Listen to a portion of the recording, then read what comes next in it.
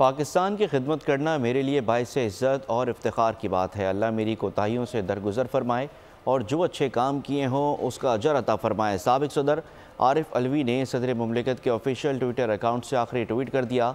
लिखा, समीना अलवी भी साथ हैं, इसमें कोई शक नहीं कि एक शानदार मुस्तबिल हमारे मुल्क का मुंतजर है।